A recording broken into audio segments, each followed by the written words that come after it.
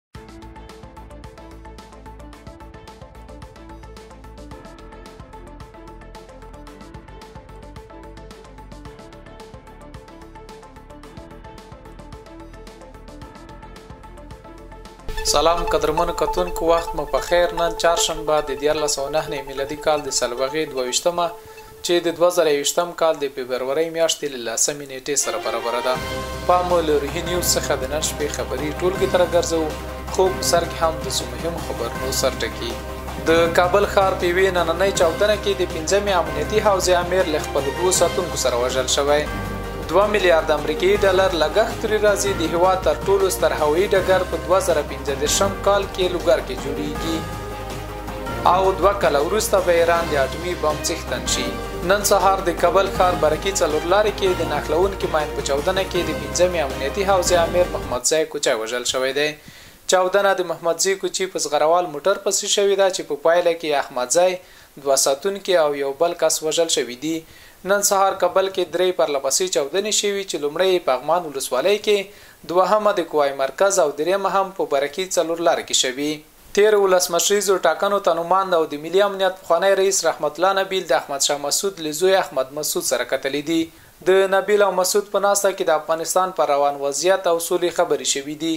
رحمت الله نبيل د دغې ليدنې په اړه پر خپله فېسبوک پاڼه ليکلي دي چې احمد مسعود د لوړې شننې، هېوادپالنې او ملي پېکر څښتن کس دی. نوموړي د افغانستان د سولې او جګړې بهير د نامعلوم برخليک لرونکی ښودلی دی او لیکلي دي چې په دې او ورته نورو مسئلو یې له نوموړي سره خبرې اترې کړې دي. د سرحدونو او قبایلو چارو وزیر ملت ته د تېر یو کال لاسته راوړنو په کلني راپور کې وايي چې د هېواد په بېلابېلو ولایتونو کې د اته ویشت لویو او کوچنیو جرګو له لارې د لویو قومونو ترمنځ د لسیزو قومي شخړو هواری یې کړی دی. د سرحدونو او قبایلو چارو وزیر محب الله صمیم وايي چې په بېلابېلو ولایتونو کې یې د اته ویشت جرګو او مرکو له لارې د لویو قومونو ترمنځ څو کلنې جګړې خلاصې کړي صمیم وايي، دغو جرګو د خلکو او لوی قومونو ترمنځ د شخړو په هواري کې مهمه ونډه اخیستې ده. تدویر جرګه ها و ورکشاپ ها چنانچه معلوم است وزارت امور سرحدات و قبایل همزمان در بخش های سیاسی، اجتماعی، فرهنگی و فرضی سرحدات فعالیت می نماید، در بخش اجتماعی یکی از مهمترین فعالیت های این اداره تدویر جرګه ها به منظور حل و فصل منازعات، خرد و بزرگ گسترش حاکمیت قانون و مسائل دیگر می باشد. این وزارت در سال مالی سیزده نود و نه به تعداد بیست و هشت جرگه و ورکشاپها در ولایتهای کابل، ننگرهار، کندهار، هلمند، هرات، لوګر، پکتیکا، فاریاب، پکتیا، خوست، لغمان، جوزجان، بغلان، بدخشان، کونړ، بامیان، زابل، پروان، نیمروز، کندوز و تخار دایر نموده است. این جرگه ها ورکشاپ ها در مجموع بیش از یازده هزار نفر در آن شرکت ورزیده. روی موضوعات از قبیل تاکید بر صلح باعزت که همه دستاوردها و ارزشهای دو دهه گذشته افغانستان در آن محفوظ باشد، تاکید بر آتش بس، بر آتش بس دایمی، حمایت از نیروهای دفاعی و امنیتی کشور و جلب همکاریهای مردم در تطبیق پروژههای عامالمنفعه مانند اعمار بندها، بنکهای آب احداث سرکها توزیع تذکره الکترونیکی شده است. صمیم د ډیورند کرښې او پر کونړ د تېرې اونۍ راکټي بریدونو په اړه وايي چې د کرښې دواړو خواوو ته قومونه سره متحد او یو ځای ژوند کول غوره کول غواړي، خو پاکستان نه شي کولی چې دغه دوه لوی قومونه سره بېل کړي. د ده په خبره افغان حکومت همېشه د افغانستان په خاوره د تېري او نورو کړنو په مورد همېشه خپل موقف نیولی دی. په دې کې زه تاسو ته ډاډ درکوم چې د خط دواړو خواوو ته قومونه اوس هم سره متحد دي، سره همفکره دي او یو ځای سره سره ژوند کول غوره کوي. تاسو ته معلومه ده چې له ګاونډي هېواد پاکستان سره موږ یوازې د سیمې خاردار او د کرښې ستونزه نه لرو، بلکې له هغوی سره ځینې نور مسایل هم لرو چې په هغه باندې د افغانستان ولس همیشه خپل دریځ نیولی ده، خپل موقف یې نیولی ده او واضح کړی یې ده او ټولو جهانیانو ته یې رسولی ده. پاکستان پر دغې څه باندې دوه نیم زره کیلومتره اوږدې لیکې چې افغانستان یې د رسمي پولې په نامه نه پېژني، خلک وايي د تاسیسات او کټارو جوړول د سرحدي ولایتونو تر نږدې مرکزونو رسېدلي، خو لا هم افغان حکومت پر وړاندې غبرګون نه دی ښودلی او پر دغه لیک یې اغزن تار د افغانستان تر خاورې را رسولی. د ولسمشر دویم مرستیال سرور دانش وايي چې که چېرته د امریکا او طالبانو ترمنځ لاسلیک شوې هوکړه په اساسي توګه له سره ونه ارزول شي، د سولې پروسه به له ډېرو ننګونو سره مخ شي.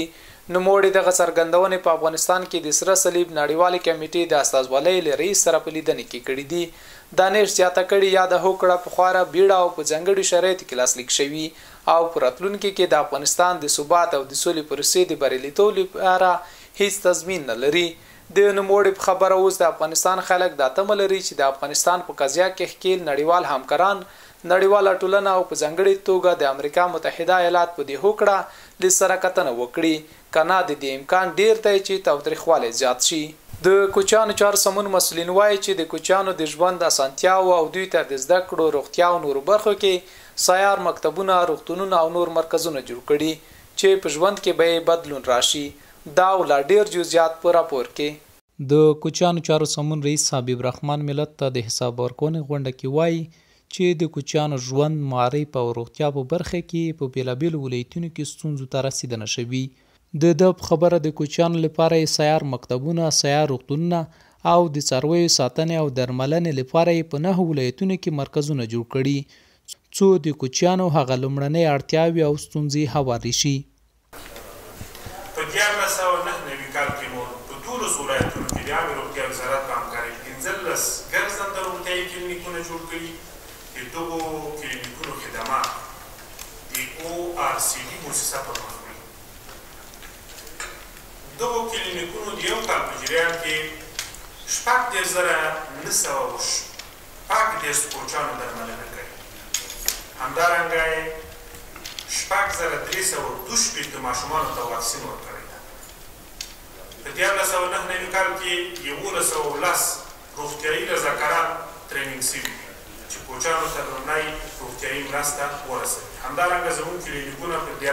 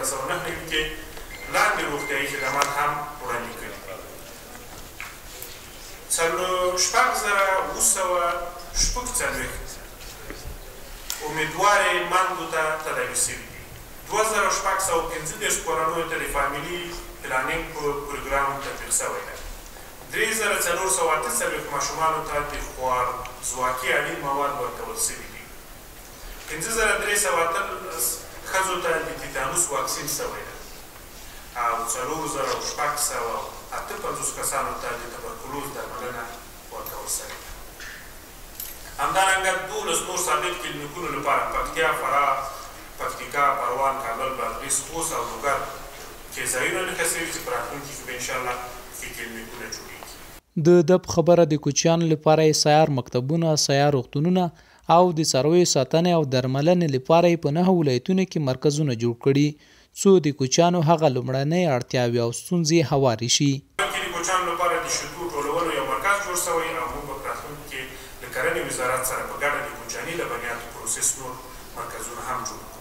په درویشت ولایتونو کې د درویشت بابو نمونوي جوماتونو د پروژې د تطبیق کارونه نهايي شوي دي، ډېر ژر به د حج او اوقافو وزارت په مرسته کوچیانو ته جوړ شي.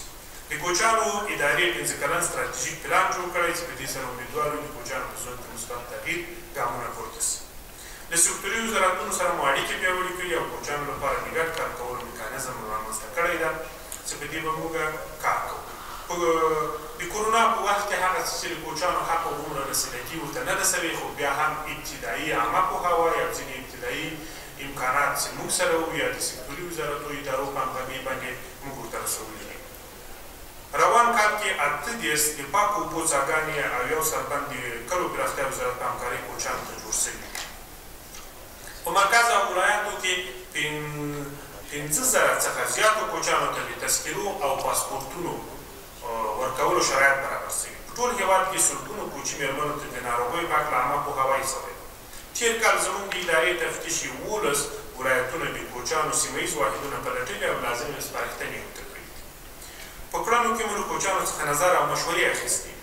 د کوچیانو عامه پوهاوي لپاره مو د البن په نوم مجله په هرو درې میاشتو کې چاپېږي، ویب پاڼه او فیسبوک پاڼه مو کوچیانو او نورو هېوادوالو ته زموږ له کړنو خبروي، همدارنګه به ډېر ژر د کوچیانو په نوم مجله او کوچي غږ انلاین راډیو هم د کوچیانو لپاره نشرات پیل کړي. افغانستان کې کوچیان ځینو یې د ښارونو په جوړولو پیل وکړ او ځینې یې تر ننه پورې خپل ژوند په کوچیاني ډول پر مخ وړي. دوی وايي، ماشومان یې له ښوونځي نه بې برخې دي، روغتون نه لري، د ژوند له نورو عصري او اړینو امکاناتو بې برخې دي. کوچیان وايي، ماشومان یې د ماشومتوب له ټولو خوندونو بې برخې او په کوچني جسم د لوی ژوند ستړې ورځې ګالي. خو هغه ډول چې لازمه ده، حکومت او مسؤلین یې ستونزو ته رسیدنه نه ده کړې. د اسراییل استخباراتي ادارې په یوه تازه راپور کې ویلي دي چې ایران یوازې دوه کاله وخت ته اړتیا لري تر څو خپل اټومي پروګرام بشپړ او اټومي بم جوړ کړي. د اسراییل استخباراتو ویلي دي چې که چیرته د جو بایډن په مشرۍ د متحده ایالتونو نوی حکومت له سره له ایران سره اټومي هوکړې ته دننه نه شي، نو ایران به په سیمه کې د یوه اټومي ځواک په توګه ګواښ اوسي او یاد هیواد به خپل اټومي بم جوړ کړای شي.